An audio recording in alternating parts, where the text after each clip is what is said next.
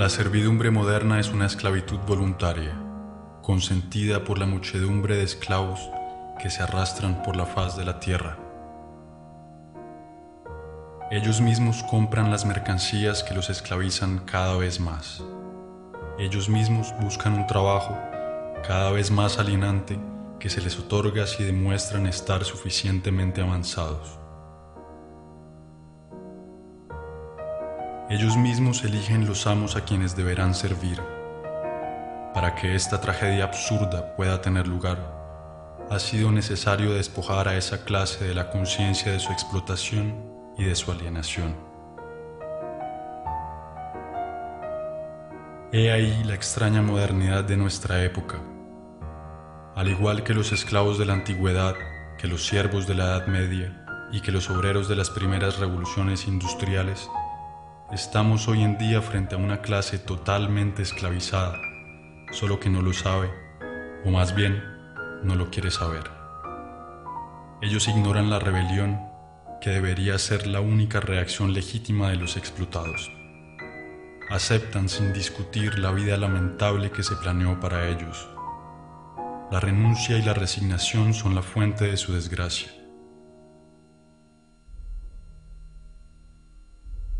He ahí la pesadilla de los esclavos modernos que no aspiran sino a ser llevados por la danza macabra del sistema de la alienación.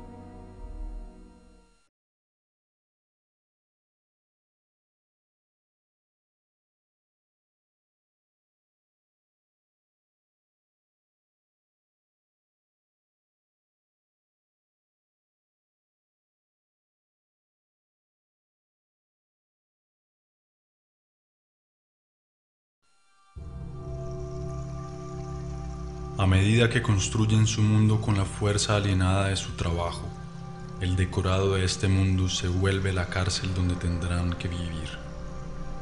Un mundo sórdido, sin sabor ni olor, que lleva en sí la miseria del modo de producción dominante.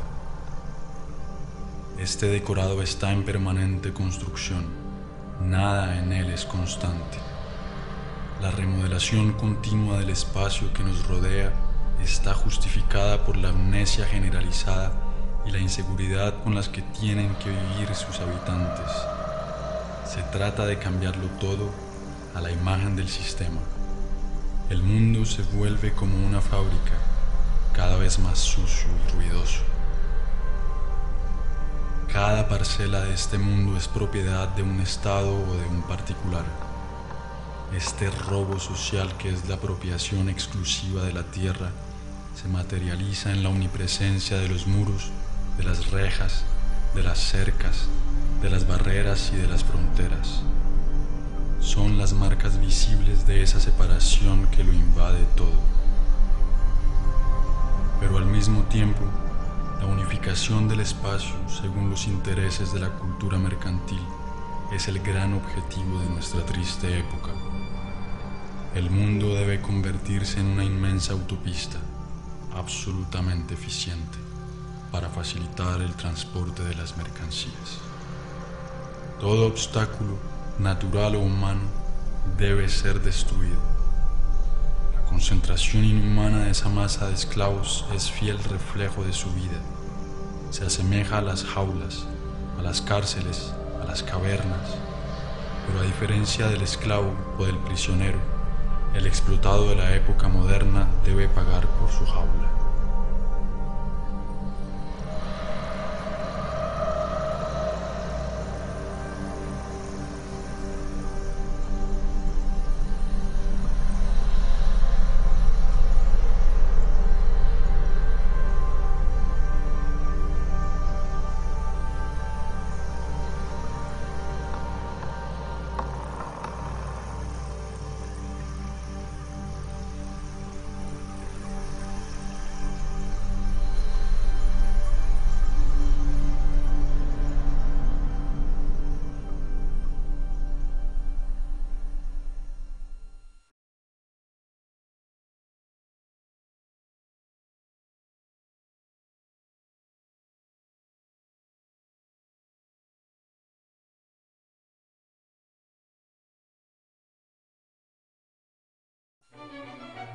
En este estrecho y lúgubre espacio en donde vive, el esclavo acumula las mercancías que según los mensajes publicitarios omnipresentes deberán traerle la felicidad y la plenitud. Pero entre más acumula mercancías, más se aleja de él la posibilidad de acceder un día a la felicidad.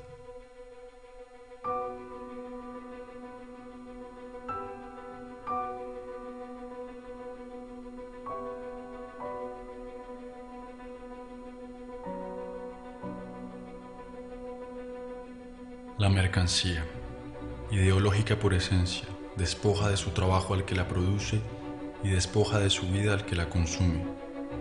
En el sistema económico dominante, ya no es la demanda la que condiciona la oferta, sino la oferta la que determina la demanda.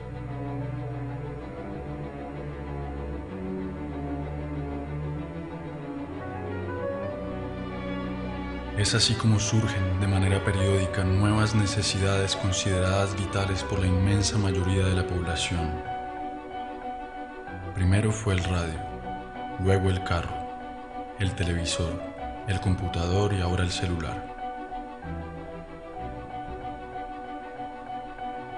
Todas estas mercancías distribuidas masivamente en un corto lapso de tiempo modifican en profundidad las relaciones humanas sirven por un lado para aislar a los hombres un poco más de sus semejantes y por otro para difundir los mensajes dominantes del sistema.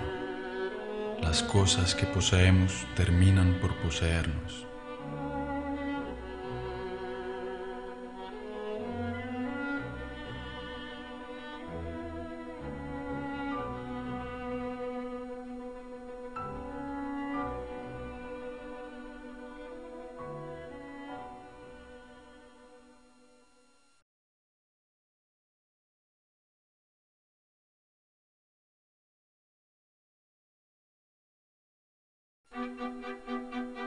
Es cuando se alimenta que el esclavo moderno ilustra mejor el estado de decadencia en que se encuentra, disponiendo cada vez de menos tiempo para preparar la comida que ingiere. Se ve reducido a consumir a la carrera lo que la industria agroquímica produce. Erra por los supermercados en busca de los ersatz que la sociedad de la falsa abundancia consiente en darle. Su elección no es más que una ilusión. La abundancia de los productos alimentarios no disimula sino su degradación y su falsificación. No son otra cosa que organismos genéticamente modificados, una mezcla de colorantes y conservantes, de pesticidas, de hormonas y de otros tantos inventos de la modernidad.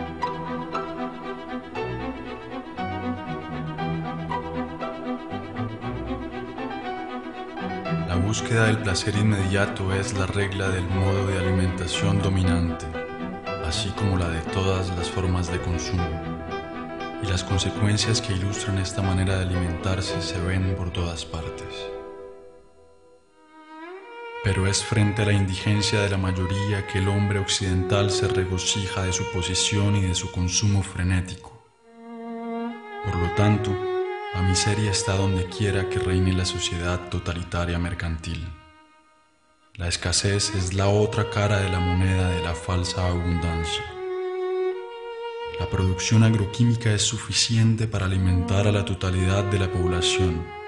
Sin embargo, en un sistema que hace de la desigualdad un criterio de progreso, el hambre no desaparecerá jamás.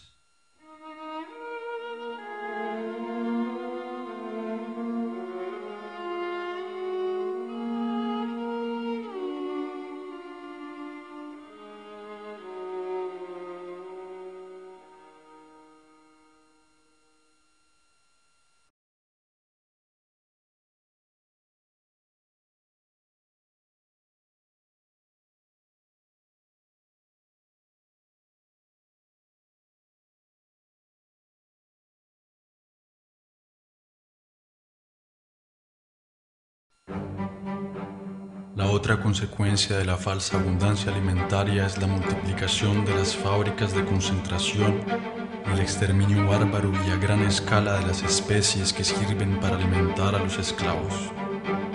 Esta es la esencia misma el modo de producción dominante. La vida y la humanidad no resisten más ante el afán de lucro de unos cuantos.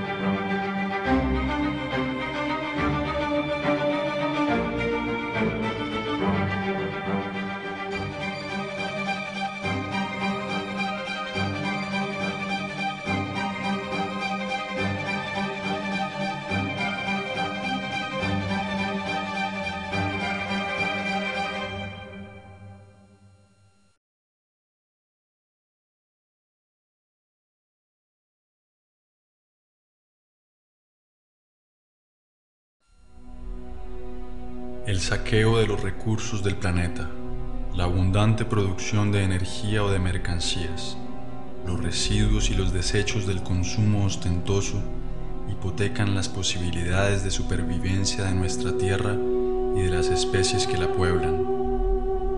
Pero para darle paso al capitalismo salvaje, el crecimiento no deberá parar jamás. Hay que producir, producir y volver a producir cada vez más. Los mismos que contaminan son quienes se presentan hoy en día como los salvadores del planeta. Esos imbéciles de la industria del espectáculo, patrocinados por las firmas multinacionales, intentan convencernos de que un simple cambio en nuestros hábitos bastará para salvar al planeta del desastre. Y mientras que nos culpan, continúan contaminando sin cesar el medio ambiente y nuestro espíritu. Esas pobres tesis pseudoecológicas son repetidas por todos los políticos corruptos que necesitan eslóganes publicitarios, pero que evitan proponer un cambio radical en el sistema de producción. Se trata, como siempre, de cambiar algunos detalles para que lo esencial siga siendo igual.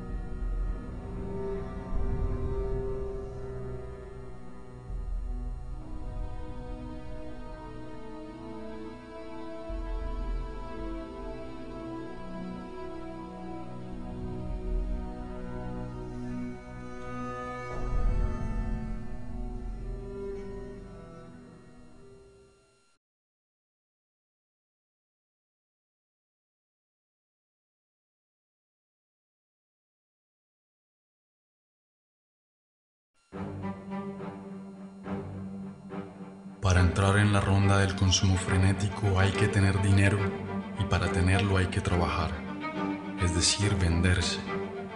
El sistema dominante ha hecho del trabajo su principal valor y los esclavos deben trabajar cada vez más para pagar a crédito su vida miserable.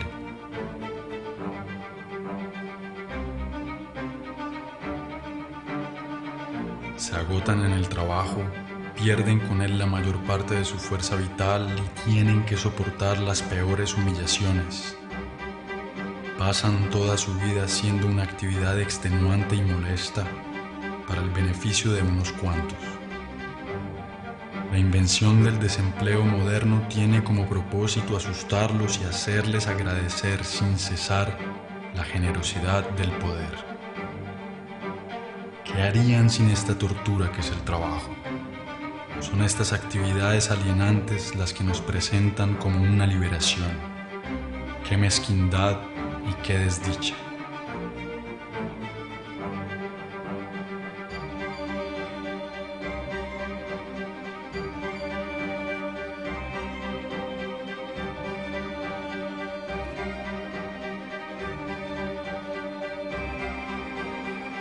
Siempre apresurado por el cronómetro o el látigo, cada gesto de los esclavos está calculado para aumentar la productividad. La organización científica del trabajo constituye la esencia misma de la disposición de los trabajadores, del fruto de su trabajo y del tiempo que pasan en la producción automática de las mercancías o de los servicios. La actividad del trabajador se confunde con la de una máquina en las fábricas o con la de un computador en las oficinas. El tiempo pagado no se recupera jamás. De esta manera cada empleado tiene asignado un trabajo repetitivo, ya sea intelectual o físico. Es un especialista en su área de producción. Esta especialización se reproduce a escala planetaria en el marco de la División Internacional del Trabajo. Se concibe en Occidente, se produce en Asia, se muere en África.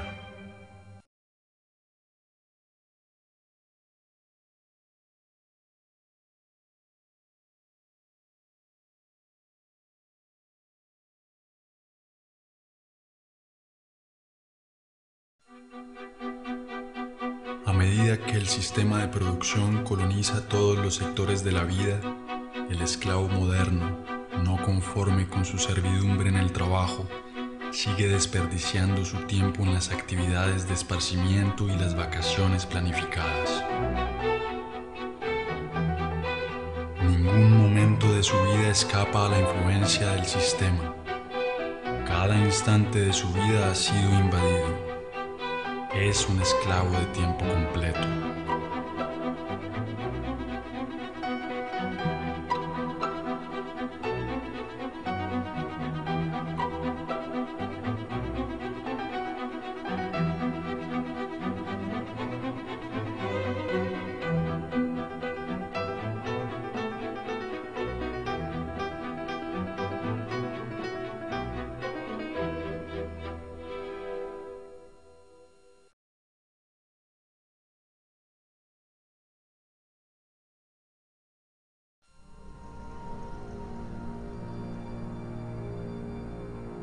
Degradación generalizada de su medio ambiente, del aire que respira y de la comida que consume, el estrés de sus condiciones laborales y de la totalidad de su vida social son el origen de las nuevas enfermedades del esclavo moderno.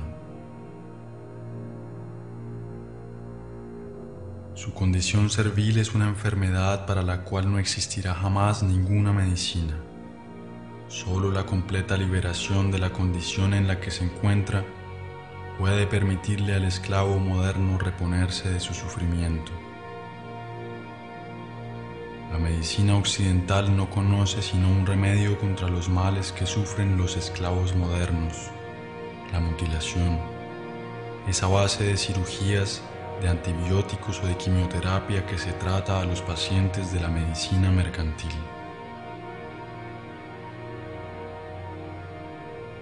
Nunca se ataca el origen del mal sino sus consecuencias, porque la búsqueda de las causas nos conduciría inevitablemente a la condenación implacable de la organización social en su totalidad.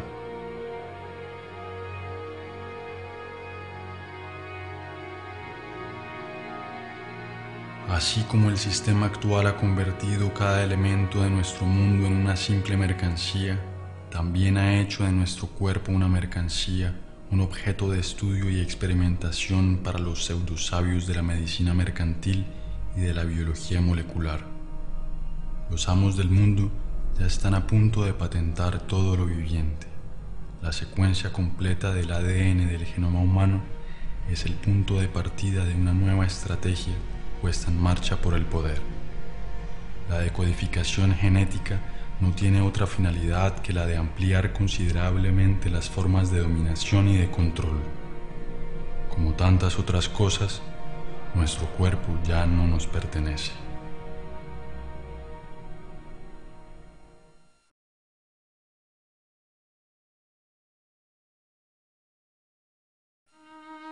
Lo mejor de su vida se le escurre por los dedos, pero él continúa porque tiene la costumbre de obedecer desde siempre. La obediencia se ha convertido en su segunda naturaleza.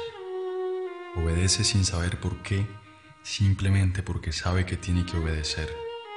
Obedecer, producir y consumir, he ahí el tríptico que domina su vida.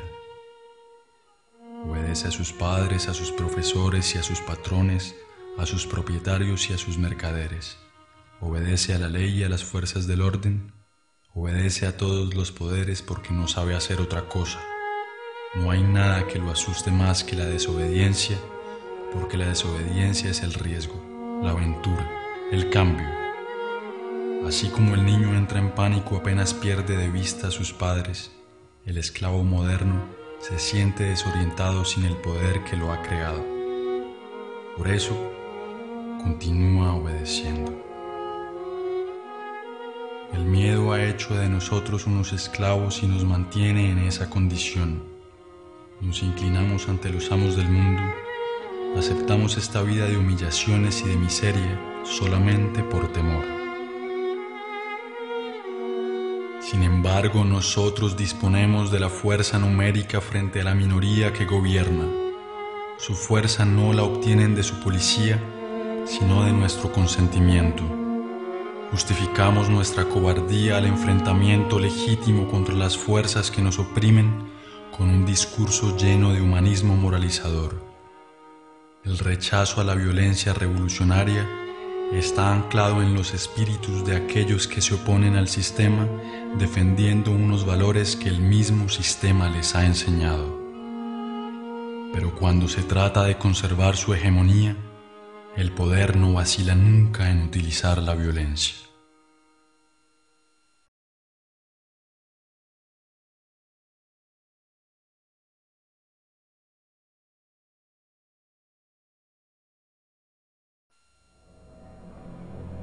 Sin embargo, existen algunos individuos que escapan al control de las conciencias, pero están bajo vigilancia. Todo acto de rebelión o de resistencia es asimilado como una actividad desviada o terrorista. La libertad no existe sino para aquellos que defienden los imperativos mercantiles. A partir de ahora, la verdadera oposición al sistema dominante es totalmente clandestina. Contra esos opositores, la represión es la regla vigente. Y el silencio de la mayoría de los esclavos frente a esta represión es justificado por el propósito mediático y político de negar el conflicto que existe en la sociedad real.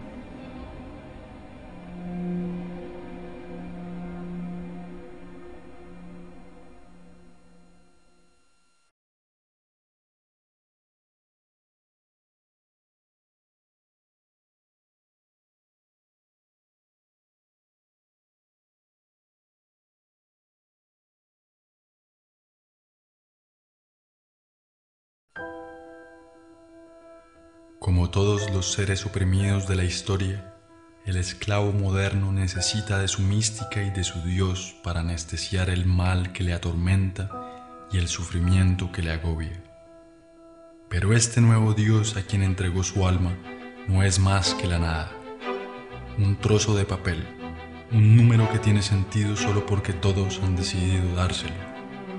Es por este nuevo Dios que estudia, trabaja, riñe y se vende es por este nuevo Dios que ha abandonado sus valores y está dispuesto a hacer lo que sea. Él cree que entre más plata posea, más se librará de la coacción que lo sujeta. Como si la posesión fuera de la mano de la libertad. La liberación es una ascesis que proviene del dominio de sí mismo, un deseo y una voluntad de actuar. Está en el ser y no en el tener. Pero hay que decidirse a no servir ni obedecer más. Hace falta ser capaz de romper con unos hábitos que nadie, al parecer, osa poner en tela de juicio. El esclavo moderno está convencido de que no existe alternativa a la organización del mundo presente. Se ha resignado a esta vida porque piensa que no puede haber otra. Es ahí en donde reside la fuerza de la dominación presente. Hacer creer que este sistema que ha colonizado toda la superficie de la Tierra es el fin de la historia. Ha convencido a la clase dominada que adaptarse a su ideología equivale a adaptarse al mundo tal como es y tal como ha sido siempre. Soñar con otro mundo se ha convertido en un crimen condenado al unísono por los medios y por todos los poderes. En realidad el criminal es aquel que contribuye, consciente o no, a la demencia de la organización social dominante. No hay locura más grande que la del sistema presente.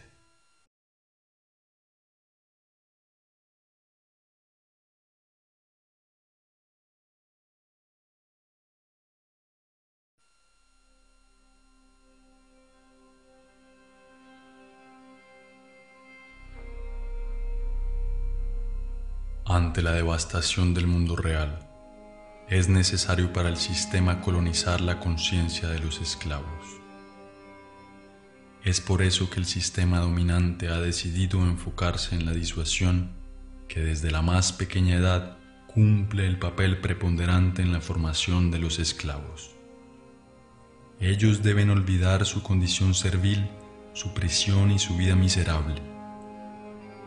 Basta con ver esa muchedumbre hipnótica conectada a las pantallas que acompañan su vida cotidiana.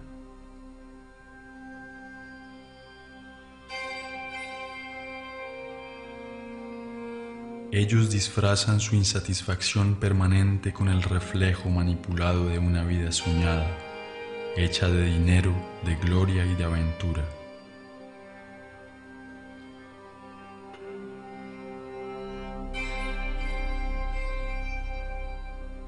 Pero sus sueños son tan lamentables como su vida miserable.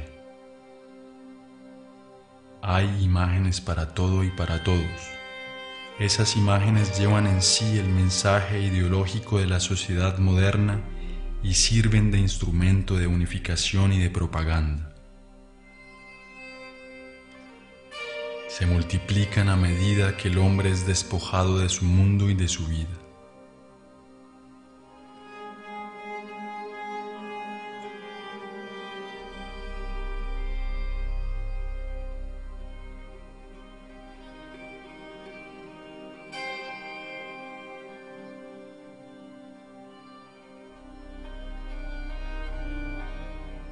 Es el niño el primer blanco de esas imágenes.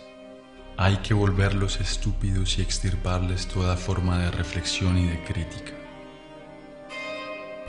Todo ello se hace, claro está, con la desconcertante complicidad de sus padres, quienes han desistido ante el impacto de los medios modernos de comunicación.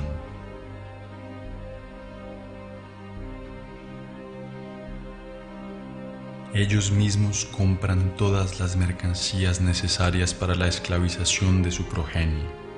Se desentienden de la educación de sus hijos y se la dejan al sistema del embrutecimiento y de la mediocridad.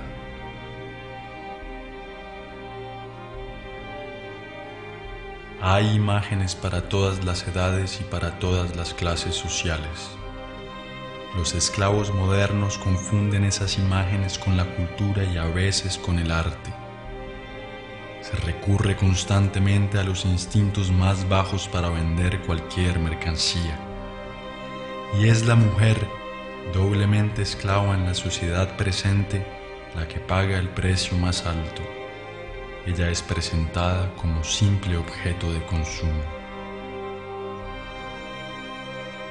La rebelión ha sido también reducida a una imagen desprovista de su potencial subversivo. La imagen sigue siendo la forma de comunicación más directa y más eficaz. Construye modelos, embrutece a las masas, les miente, les crea frustraciones y les infunde la ideología mercantil. Se trata pues una vez más y como siempre del mismo objetivo vender modelos de vida o productos, comportamientos o mercancías, vender no importa qué, pero vender.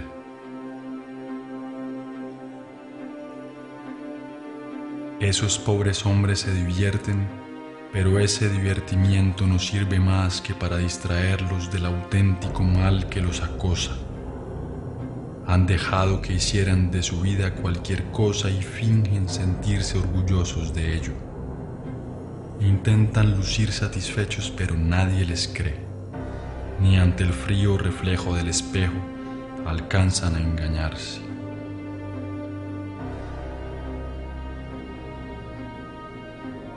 Pierden su tiempo delante de unos imbéciles que los hacen reír o cantar, soñar o llorar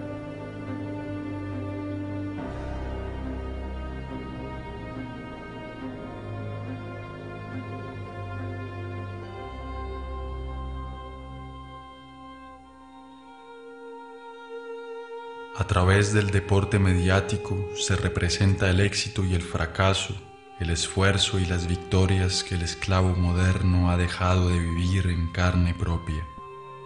Su insatisfacción lo incita a vivir por encargo frente a su aparato de televisión.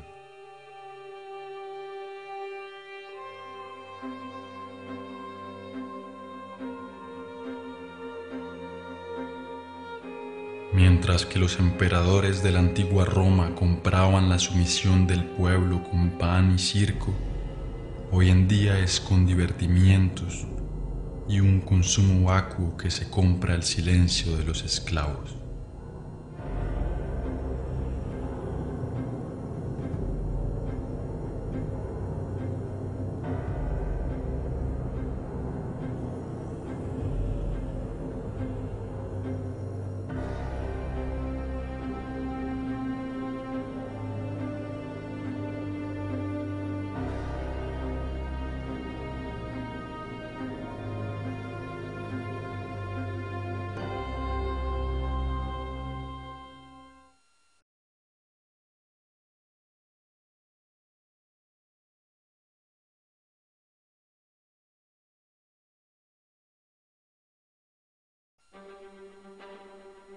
Control de las conciencias es el resultado de la utilización viciada del lenguaje por la clase económica y socialmente dominante. Siendo el dueño de todos los medios de comunicación, el poder difunde la ideología mercantil a través de la definición fija, parcial y amañada que le atribuye a las palabras. Las palabras son presentadas como si fueran neutras y su definición como evidente, controladas por el poder, designan siempre una cosa muy distinta a la vida real. Es ante todo un lenguaje de la resignación y de la impotencia, el lenguaje de la aceptación pasiva de las cosas tal como son y tal como deben permanecer. Las palabras actúan por cuenta de la organización dominante de la vida y el hecho mismo de utilizar el lenguaje del poder nos condena a la impotencia. El lenguaje es el punto esencial de la lucha por la emancipación humana. No es una forma de dominación que se añada a otra, sino que es el centro mismo del proyecto de sometimiento del sistema totalitario mercantil.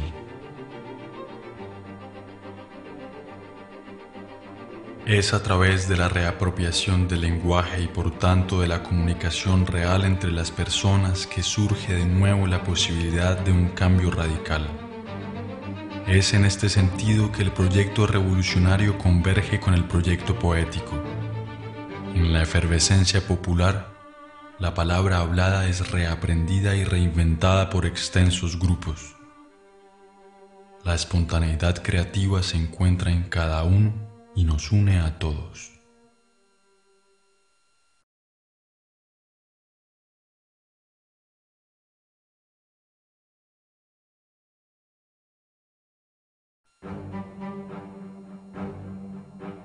No obstante, los esclavos modernos se sienten todavía ciudadanos. Creen votar y decidir libremente quién conducirá sus asuntos como si aún pudieran elegir. Pero cuando se trata de escoger la sociedad en la que queremos vivir, ¿creen ustedes que existe una diferencia fundamental entre la socialdemocracia y la derecha nacionalista en Francia, entre demócratas y republicanos en Estados Unidos, entre liberales y conservadores en Colombia?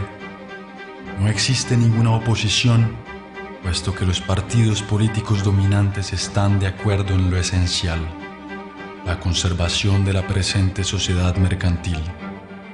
Ninguno de los partidos políticos que pueden acceder al poder pone en entredicho el dogma del mercado. Y son esos mismos partidos los que con la complicidad mediática acaparan las pantallas, riñen por pequeños detalles con la esperanza de que todo siga igual. Se disputan por saber quién ocupará los puestos que les ofrece el parlamentarismo mercantil. Esas pobres querellas son difundidas por todos los medios de comunicación con el fin de ocultar un verdadero debate sobre la elección de la sociedad en la que queremos vivir. Apariencia y la futilidad dominan sobre el enfrentamiento de las ideas. Todo esto no se parece en nada ni de lejos a una democracia. La democracia real se define en primer lugar y ante todo por la participación masiva de los ciudadanos en la gestión de los asuntos de la ciudad.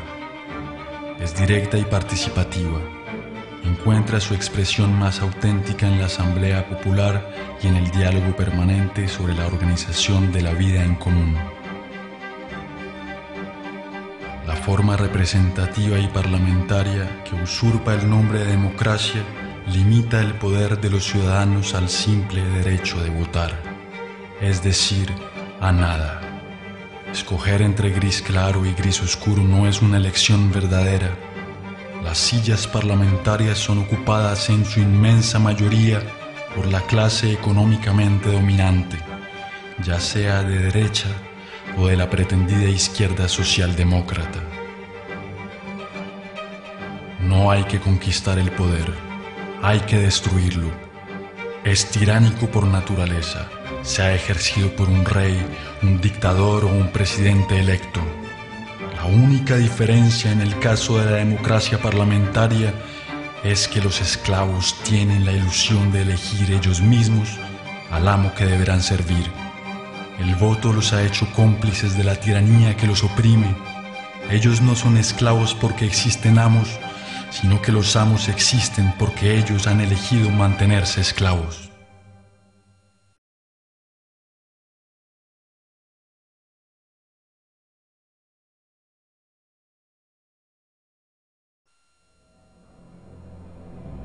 Sistema dominante se define entonces por la omnipresencia de su ideología mercantil ocupa a la vez todos los espacios y todos los sectores de la vida. No profesa más que la necesidad de producir, vender, consumir, acumular. Ha reducido todas las relaciones humanas a unas parcas relaciones mercantiles y considera que nuestro planeta es una simple mercancía. La función que nos asigna es el trabajo servil. El único derecho que reconoce es el derecho a la propiedad privada. Al único Dios que rinde culto es al dinero. El monopolio de la apariencia es total. Solo aparecen los hombres y los discursos favorables a la ideología dominante. La crítica de este mundo se ahoga en el mar mediático que determina qué está bien y qué está mal, lo que se puede y lo que no se puede ver.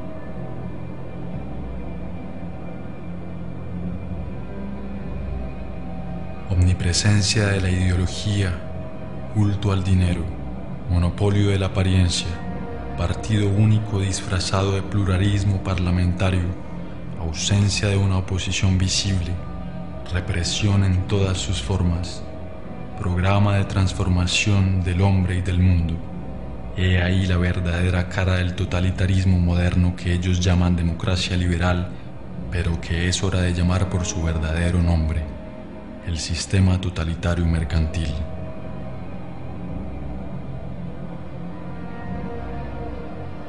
El hombre, la sociedad y todo nuestro planeta están al servicio de esta ideología. El sistema totalitario mercantil ha logrado lo que ningún otro totalitarismo había podido, ocupar cada resquicio del planeta. Hoy en día, ninguna forma de exilio es posible.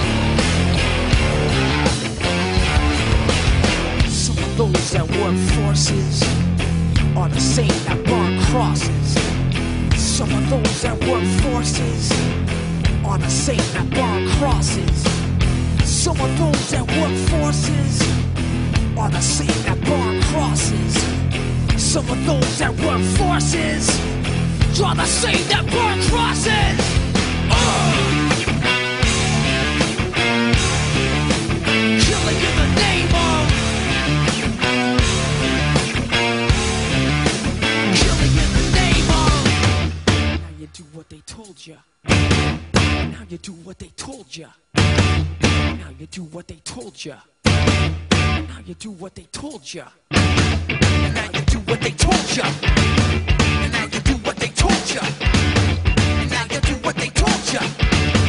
And now you do what they told ya. And now you do what they told ya. And now you do what they told ya.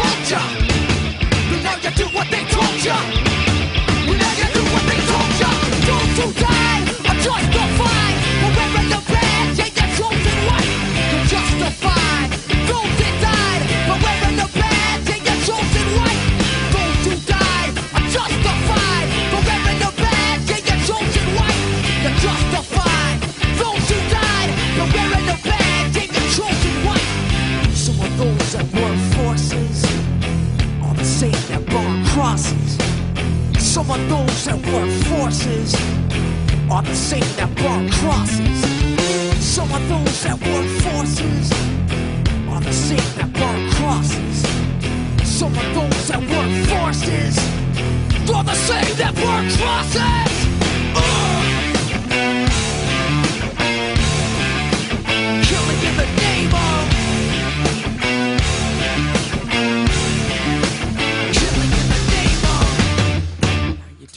Told you. Now you do what they told you. Now you do what they told you. Now you do what they told you. Now you do what they told you.